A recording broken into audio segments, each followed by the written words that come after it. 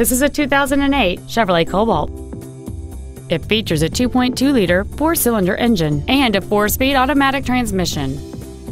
Its top features include a keyless entry system, XM satellite radio, a security system, a passenger side vanity mirror, a low tire pressure indicator, side impact airbags, latch-ready child seat anchors, rear seat child-proof door locks, and this vehicle has fewer than 5,000 miles on the odometer.